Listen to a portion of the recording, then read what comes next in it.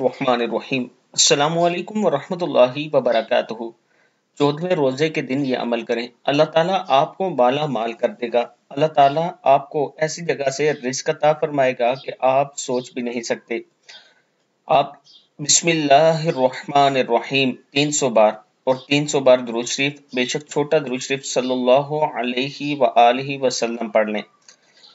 या आप दुरूद इब्राहिम में पढ़ लें, जो आप इजीली पढ़ सकते हैं। बिस्मिल्लाहिर्रहमानिर्रहीम 300 बार पढ़ना है और 300 बार दुरूद इब्राहिमी पढ़ना है। फिर अल्लाह के हुजूर दुआ करनी है कि अल्लाह ताला आपकी मदद फरमाए, अल्लाह ताला आपके माल और दौलत में बरकत अता फरमाए तो अल्लाह ताला ज़रूर अता करने वाला है। अस्सलाम वालेकुम व रहमतुल्लाहि व बरकातुहू